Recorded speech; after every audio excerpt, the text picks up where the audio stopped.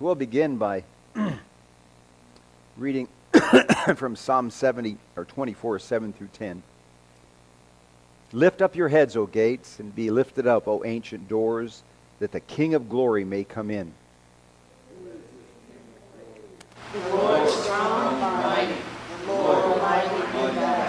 Lift up your heads, O ye gates, and lift them up, O ancient doors, that the King of glory may come in.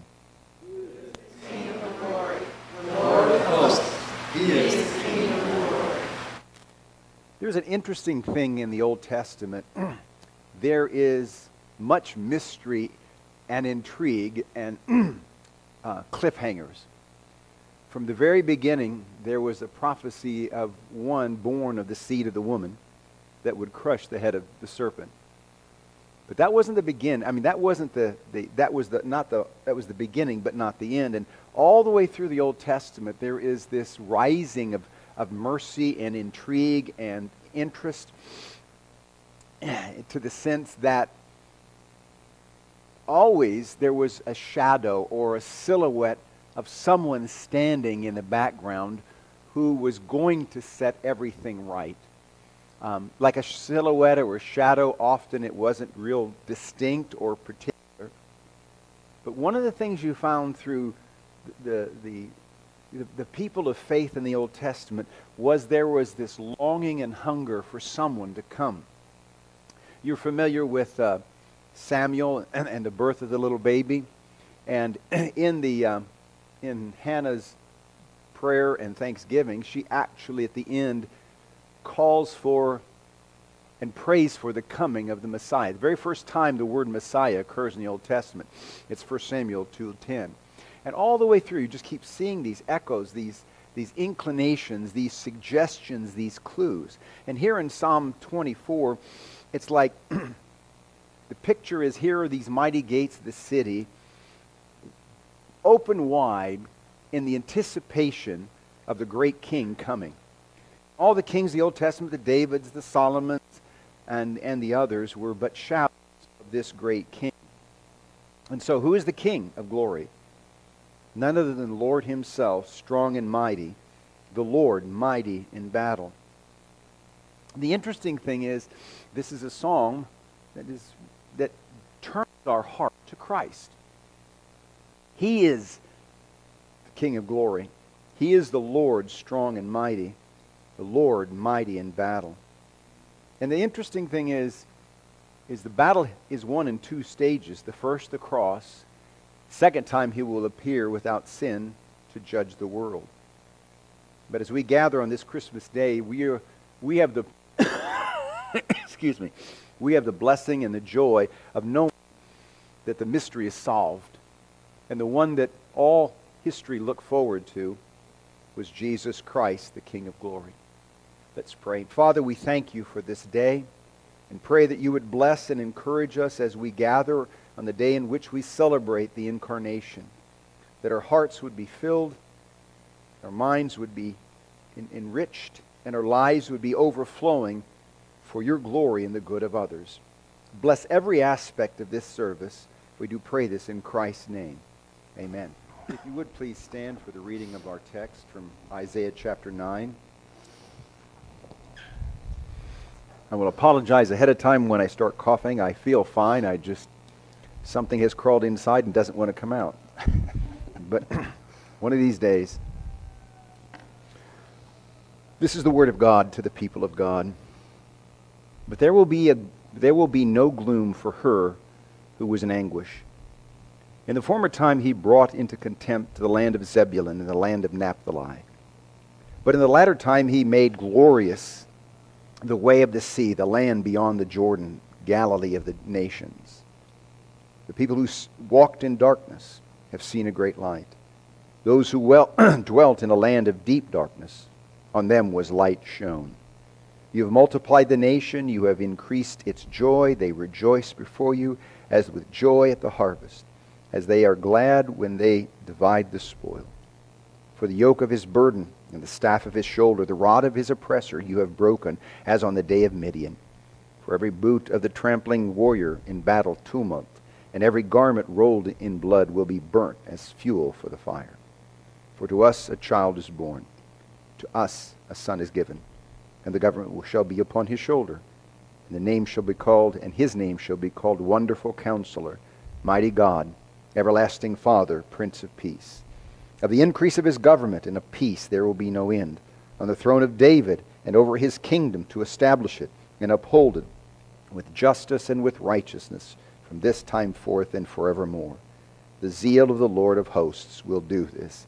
And God's people said, Amen. If you would please be seated, and we'll again look to the Lord in prayer.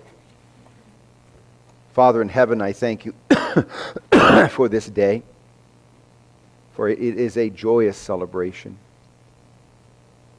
something that we rejoice in, but our joy is in no way com- commensurate with how great a day it really is.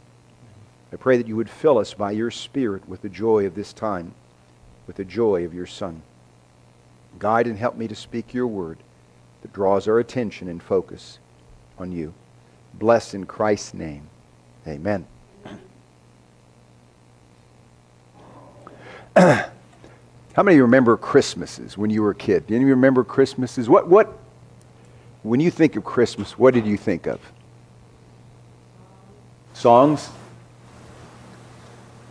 As a kid, the gifts. Gifts. I can remember when I was a kid, all the packages were brought out and put under the tree. And I'm, my mom worked at the VA, so she was off working, and I would get the packages out, and I would do everything I could to read through the, the uh, wrapping paper. Uh, at times, I would actually take a piece of a pencil or something and try to put, you know, look in there to see what, the, what it was that's basically all I could remember about Christmas. I don't know, I can't remember food. I just remember a plethora of gifts. Um, and the sad thing is, I cannot remember only two gifts that I got over the many years. I remember it was some kind of a erector set, had these little tanks, and you put colored water in it, pumped it. And the other one was I received in, I don't know exactly when, a, a telescope. And I still have that stuck away in the in the garage or the, uh, the attic of my garage. But I mean, you can't think of Christmas without gifts, right? I mean, isn't that part and parcel of it? In fact, the interesting thing is we have a proclivity to give. What do you do on, on birthdays or anniversaries or special occasions? What do you do? I mean, have you ever thought about that? Have you ever thought, what, what, what is it about gift giving? We're just, it's, it's part and parcel of who we are. And, you know, we like to get gifts, and we love to give gifts. Why?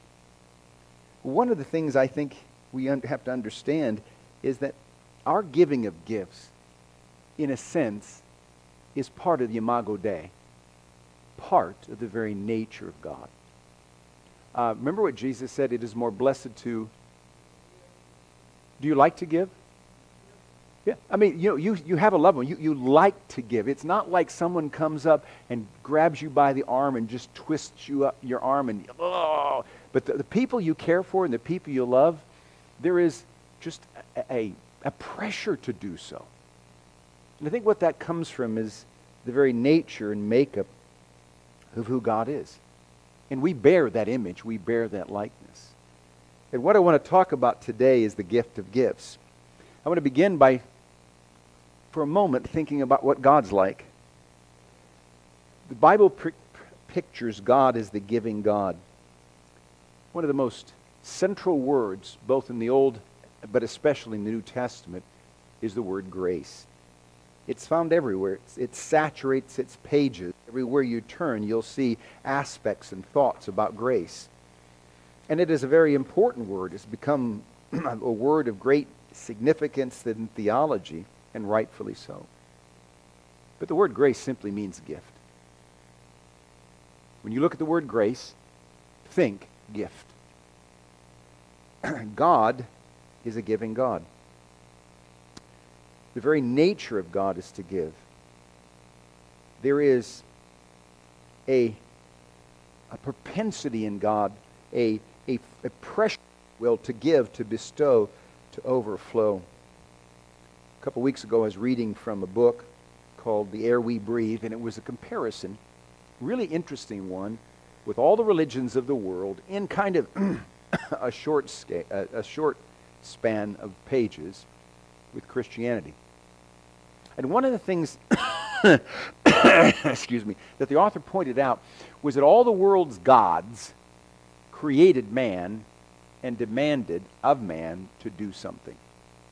In fact, uh, many of the gods in their myths said that they created God, or God, the gods created men to serve them, to give them, to provide for them, to do their bidding. And how much of a contrast there is between the gods made up of people and the God who is.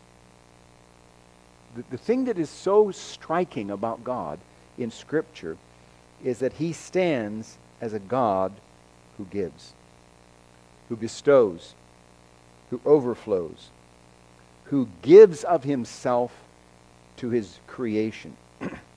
and is not merely something God does, but it is part and parcel of who God is. It just is his nature. And, and that's, that is itself so striking. Um, you might know uh, generous people, right? Well, a, a generous person is nothing compared to God who is generous. And we'll see that in a moment. A couple of texts. 1 Peter 5.10 refers to God as the God of all grace, the God of all gifts. And in James 1, it says, Every good and every perfect gift is from above, from the Father. Um, how many of you have been in like in a work situation where you have to have a, a gift exchange? Yeah. Do you like doing that?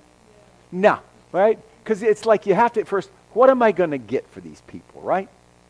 And then they have, it's like, you know, it's a white elephant, is that a ele- white elephant gift? And they say, okay, it's a certain amount of money, you know, and if you, you know, and then they exchange it. But, it, you know, that's kind of like, look, right? Now, if you have your kids or somebody you care for, it's easy. But there's kind of like, oh, you know, I don't really want to do this, but I have to because if I don't, well, then, you know. so there are times in which we want to give, and there are times in which we don't want to give. But God's nature, to the very root of who he is, is a giving God, a gracious God, a generous God, a lavish God, and to use the um, old meaning of the word prodigal, a prodigal God in the sense that he gives abundantly. Excuse me. And the way he dispenses those gifts is amazing. He dispenses it in a, if we could say, in a general goodness to the undeserving. And what I mean by that is here's God, and he created a universe. He created Adam and Eve, put them in a wonderful place, a paradise of paradises. Did they deserve to be created? Was there in any way they earned it? No, because they didn't even exist. And then once they did exist, God poured upon them blessing upon blessing. It's the nature of God to be unbelievably generous to people, to things that don't deserve it. Now, that's not a bad thing. You know, it's like you go to work and someone gives you $100,000. Okay, that would be a nice thing, wouldn't it? Did you deserve that $100,000? well, good. okay. But, you know, I go get $100,000. I don't deserve it, but it's still a great thing to get it. And there is everything about, everything that flows from God is this good generosity that just permeates everything that God created, everything that God does. You know, it causes, you know, just, it's amazing. But what is really amazing is what I call the special goodness of God to the ill deserving. For two chapters, everything in the Bible, things were going okay, weren't they? Just two chapters. Chapter 3, and it went downhill, right? Did God stop being generous? No. And the, and the, the charting of the history of the Bible is God's goodness and God's grace and God's giving to people who deserve the very opposite. God said to Adam and Eve, In the day you eat thereof, you shall what? But they did not surely die. And you see, even in God's harsh judgment, goodness. I mentioned, and Patty mentioned, the fact in Genesis 3.15 that he was going to provide a solution immediately after the fall. And you look at the history of Israel. How cantankerous were those people? How, how stiff necked and hard hearted were they? Constantly rebellious, incessantly evil. And yet, what did God do? He provided for them, He gave them. You think of instances like the city of Nineveh.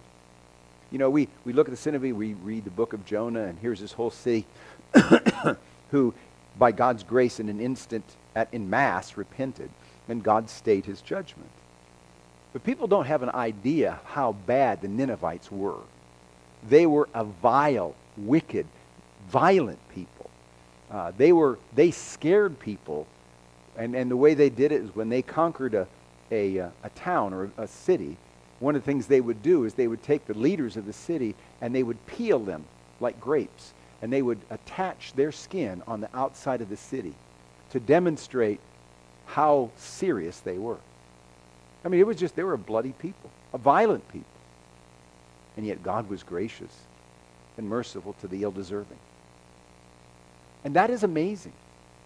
You know, it, it, you know, we can give good gifts to people we think deserve it, right? But is it hard for us to give good gifts to people who ill deserve it? Yeah, we, we, we can't even imagine that, can we? We think of the, of the man that, or the men involved in those two girls over in Delphi, India, Indiana. Remember that? And they were the horrible thing, just unghastly kind of uh, crime committed. Do we, can we even imagine doing anything good to those people? They don't deserve it, right? But here is the uniqueness of God. There is in God even a, a proclivity, an inclination to do good to people who deserve the opposite. That's the amazing thing. That's the, the, the good news of this. And what we see specifically is that in this giving of God, his good gifts to people, he gives the ultimate gift, and that is his son. The gift of gifts is his son. Um, in the passage that we read here, it says that the people who were in gloom and darkness, they've seen a great light. Those who dwelt in the land of deep darkness, on them has light shone. and that passage is actually re- referenced in the New Testament because this is a prophecy of Jesus, specifically where Jesus would be, would be ministering. Where was his ministry centered at? Galilee. And this is the, this is the region described here. But the picture is here's the darkness, and here's the gloom, and here's the forbearance, and here's everything going wrong. But at a time, God caused a light to shine. Those who dwelt in a land of deep darkness, on them has this light shined. And the text tells us what this light is. We're familiar, everybody knows uh, Isaiah 9 6 For to us a child is born, to us a son is given, and the government shall be up upon his shoulders, and his name shall be called Wonderful, Counselor, Mighty God, Everlasting Father, Prince of Peace. This is about God. You know, when you're thinking about giving to someone, what do you think? What limits do you place upon yourself? Dollar amount. Okay, in other words, if it's a coworker, you think $20 or less. okay? If it's your, your, your, your most beloved child, you think what? Or grandchildren, even better. You know, right? What do you think? Huh? No limit. Whatever you can afford, right? Okay, what's the difference? Your love, the value. Yeah, in other words, to these people, mm, but to these people. Now, I want you to understand something about God. A strange and wonderful thing God does not give in measure. Unlike any of us. Because if God gave in measure, and we're the kind of people we are, God wouldn't cut it at $20. it would be much lower, wouldn't it? There is, as I said, the very nature of God to give and to give without measure. He gave his son.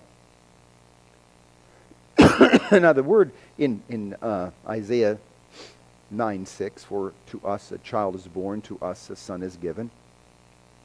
And the word son here, at first glance, everybody said, well, that simply means a male heir because the king, you know, uh, would sit on the throne of David, would be a king, and he would be a male.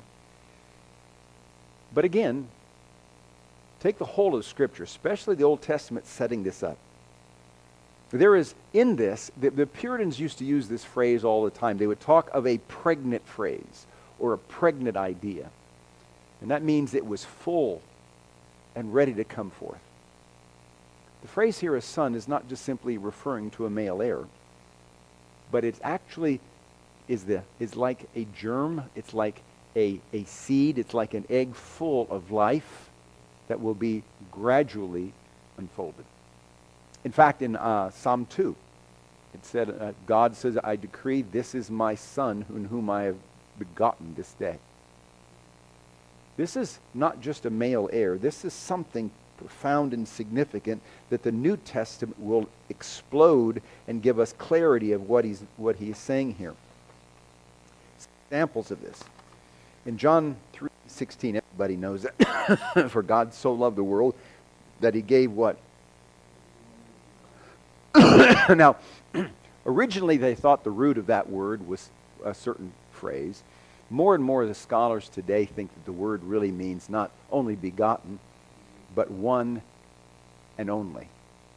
Absolutely unique. So the picture here in John 3:16 is that God gave his son and his son is in a class, a category that only he's in. There is nothing of greater value to the Father than the Son. Absolutely none. Um, and two occasions, one in his baptism and the other time on the Mount of Transfiguration, the, the generally silent Father speaks from heaven. Okay? Generally speaking, the Father doesn't speak from heaven, doesn't, doesn't speak audibly. But on two occasions, it's almost as if he can't help himself. It is almost that he cannot be, he cannot constrain himself. And he declares in both cases, this Jesus, this is my what? Beloved Son, in whom I'm well pleased. And what that is actually is the combination of two texts, Psalm 2 and Isaiah 42, where he puts these two together in reference to the Son. And here's the Son, I mean, here's the Father references. I find absolute satisfaction in my Son, complete and total flawlessness. And then in Colossians 3, a beautiful phrase, it speaks of the Son of His love. It speaks of the Son of His love. Now, one of the things we need to understand, and when we, we talked a little bit about last Sunday about the love of God, the only way God loves is always in the context of His Son. Okay? there is no love of God in the, in the ultimate sense outside of the Son. There cannot be. In fact, that is the defining reality of what love is. The Father loves the Son, and the Son loves the Father. the Son is the love of the Father. It is, he is his delight. And the way and the only way in which God expresses his love is in and through the Son.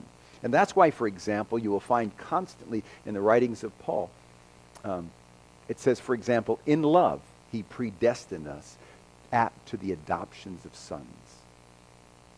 In Christ, 14 times, in, no, 11 times, I think, in those verses, it says in Christ. In John uh, 17, as he's praying, he talks about us being in the love that the Father has to the Son. So when the Father is expressing his love, it is always and always will be in the terms and context of his Son. Now, there's two ways, two, I call them two dimensions in which God bestows his love. The first dimension for, for his giving is that he gave his Son for us. This is a wondrous and glorious message of the Bible to sinners. In um, two texts, and there could, there's hundreds more. In Romans 4.25, it says, He was delivered up for our trespasses. In 1 Peter 5.18, it says, Christ suffered the just for the unjust.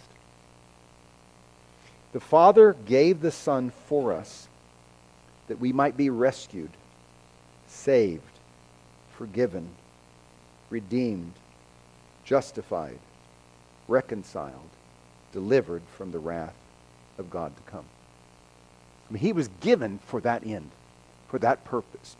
and it, excuse me, and it's the glorious message of the Bible that God gave his Son for us. But the amazing thing, and I've pondered this this whole week, actually for longer than a week, I just can't get over what verse 6 actually says. In verse 6, it says to us, a child is born.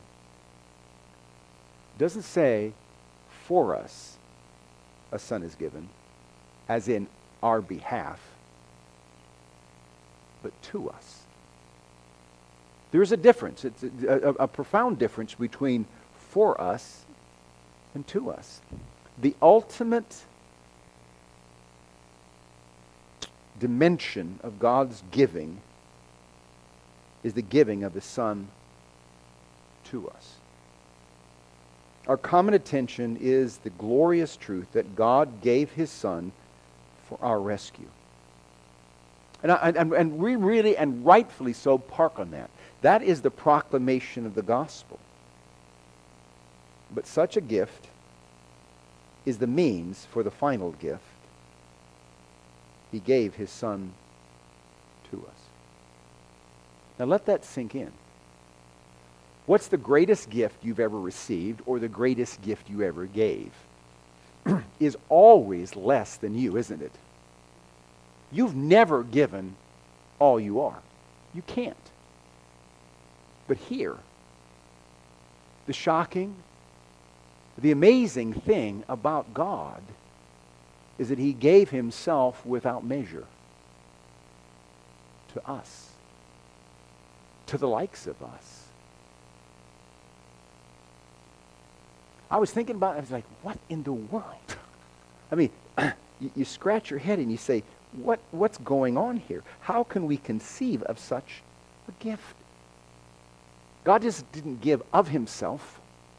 God didn't give from himself. God gave himself to us in his Son. Could God top that? What more could God give?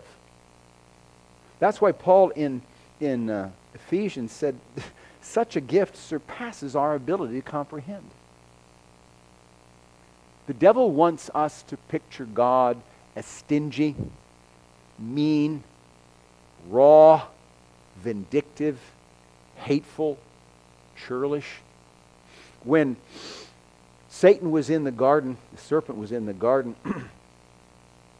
he wiggled into the mind and heart of Eve so that Eve would doubt God's what? His word, his goodness. And Satan succeeded. And from that point on, Adam and Eve and all of their progeny would question and doubt the goodness of God. God, in a sense, declared to the world that that is a lie. In this gift of his Son. God did not merely, excuse me, give to us out of the infinite resources, He gave Himself in His Son. There's no greater gift than that.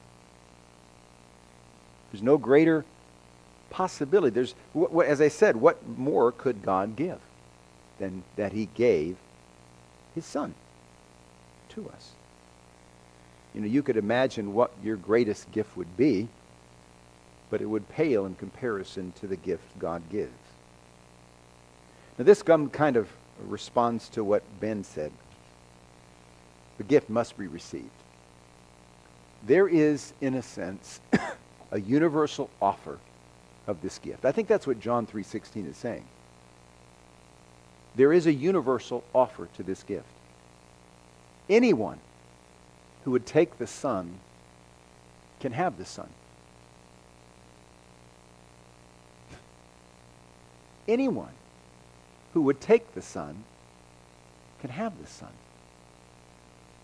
And throughout the gospel, throughout there, we find constantly the necessity of receiving it. I remember some time past, it was when I worked, excuse me, when I worked at Vermilion Gardens, they had a little bit of Christmas gifts passing on. And one of the things they gave were $2 uh, coupons or gift cards from uh, McDonald's.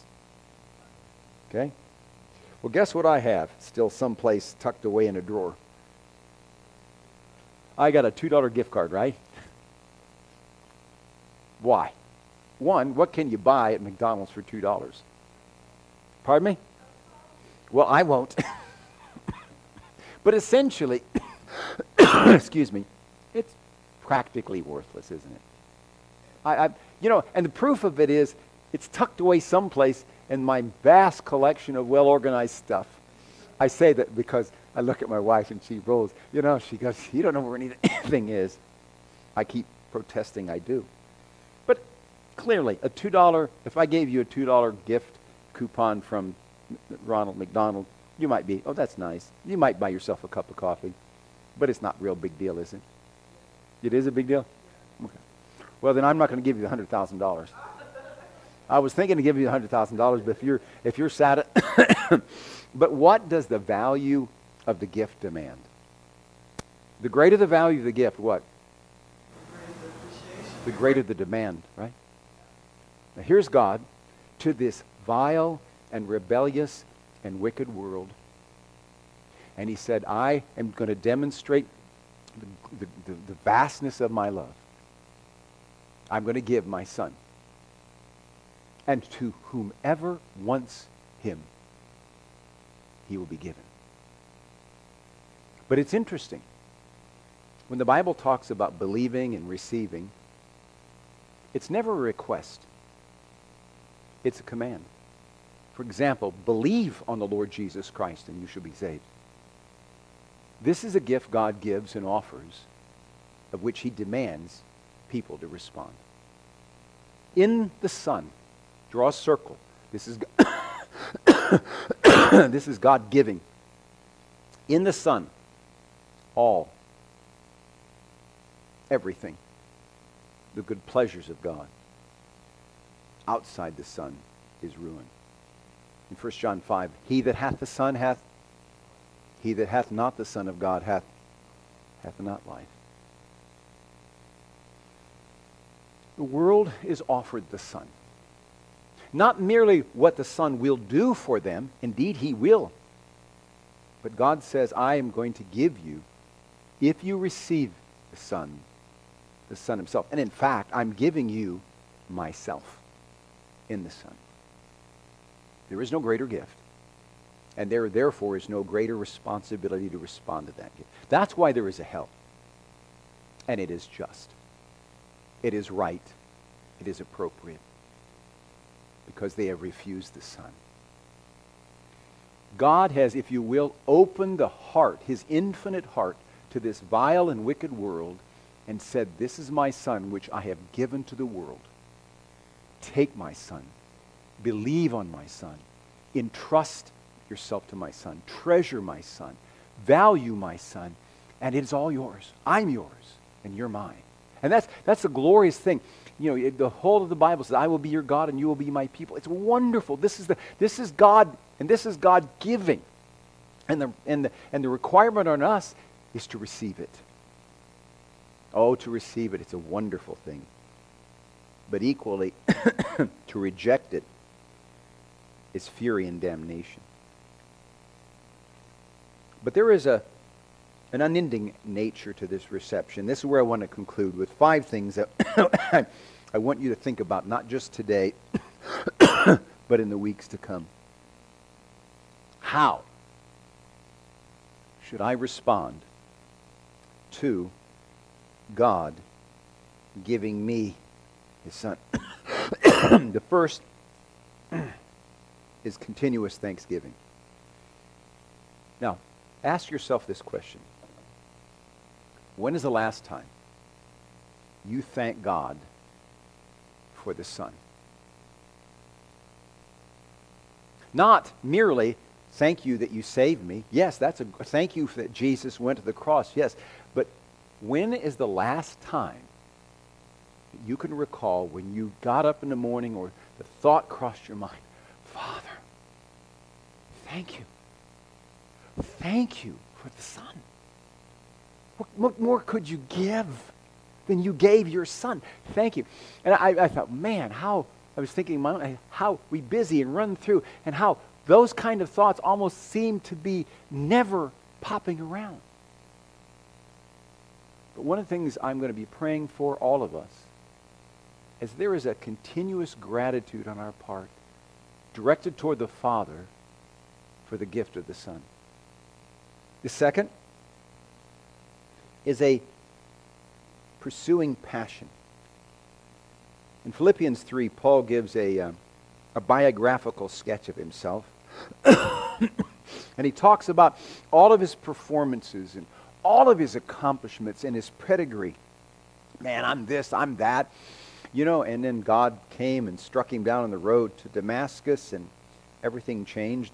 Things that he once trumpeted in and boasted in and counted on, he says it's, it's just a bunch of refuge and dung. It's worthless. And then, in contrast, he makes some um, unbelievable things in the passage.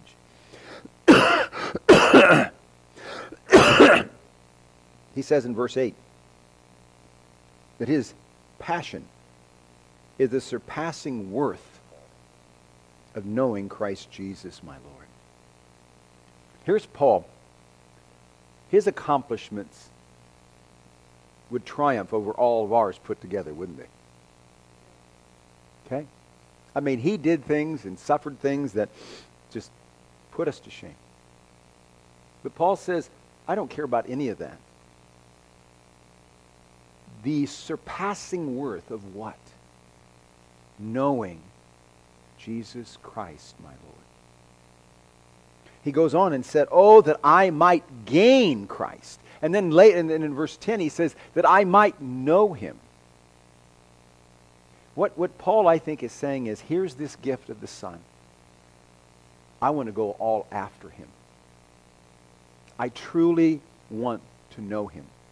I truly want to gain him. Not externally or, theolog- or theoretical, but in actual experience.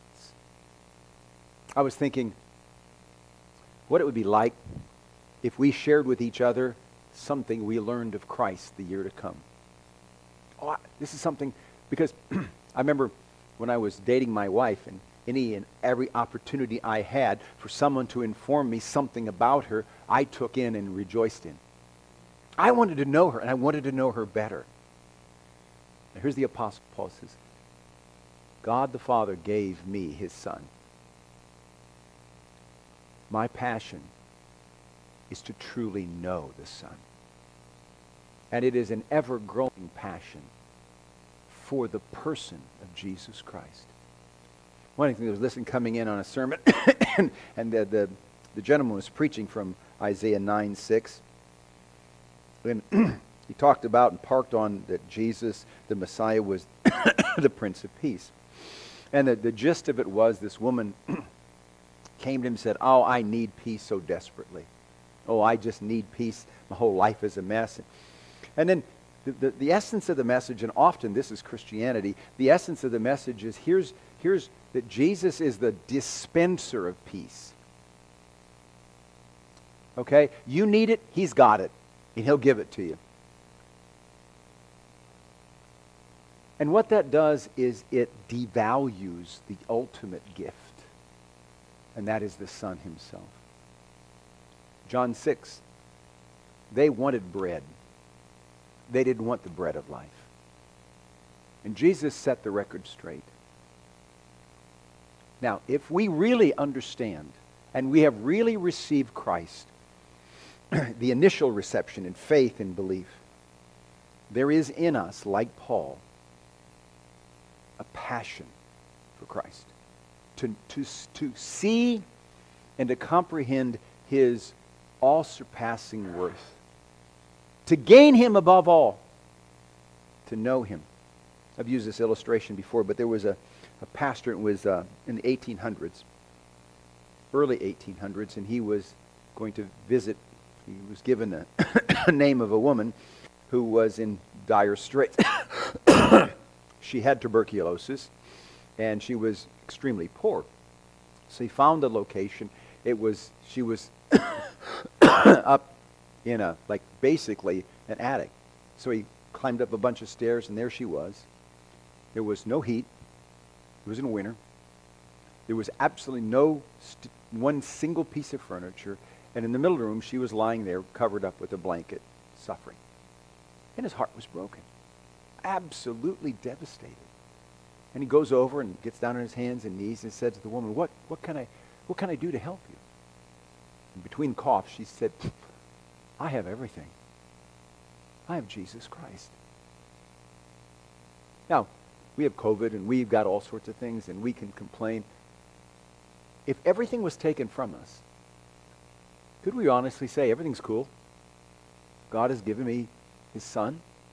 What more do I need? Or are we, hmm, Christ plus?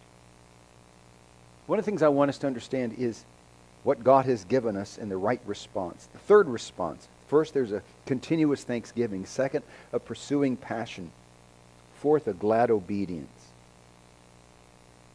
In many places, John and in 1 John, we're told there's a connection between love and obedience. If you love me, this is the love of God that we keep his commandments, and commandments are not burdensome. A true response to this gift is not some superficial compliance to his rules, but a loving embrace of what he tells us.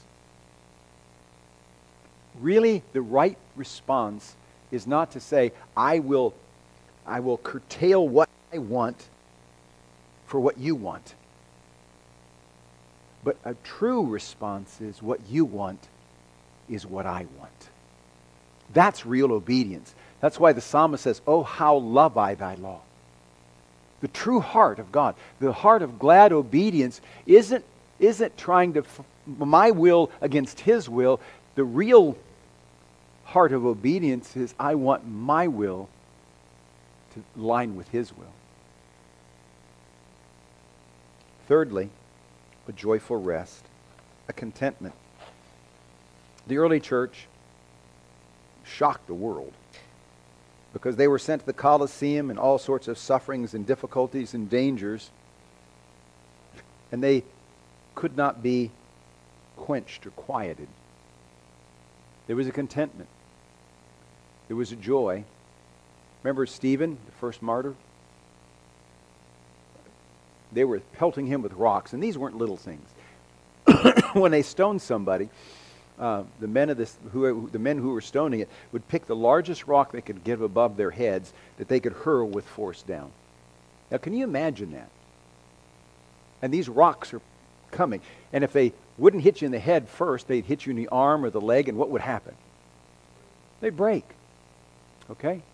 And would, what would you do if somebody was throwing rocks at you like that and you had done nothing wrong.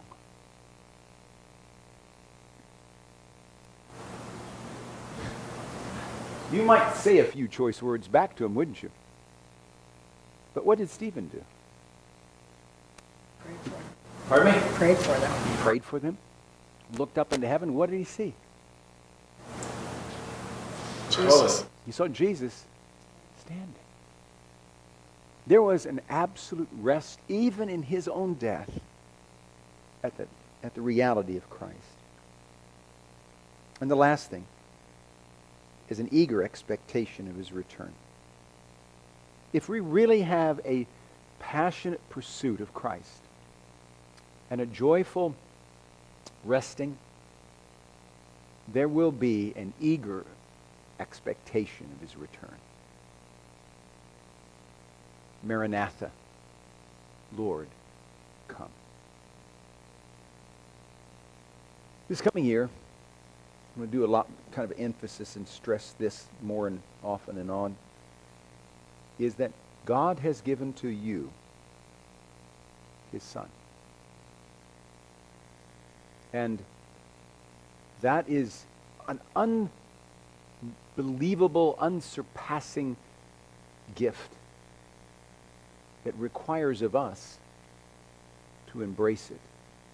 No, to embrace him, to take him, to love him, to treasure him. This year I want, this coming year, I want it to be a year in which truly Christ is seen and favored and shared.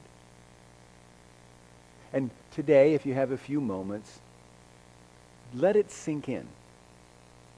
To you, God gave his son, his beloved son, his one and only son, the son of his love.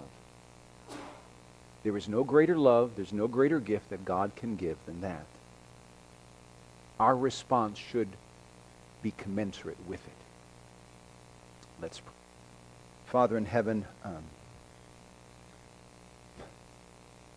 there's no words that I could put together or fashion that in any measure would give weight and substance appropriate to the gift you gave us. Or you could give us the cattle on a thousand hills. You could give us the gold in every mountain, the diamonds in the universe. And we could just relish in the earthly treasures.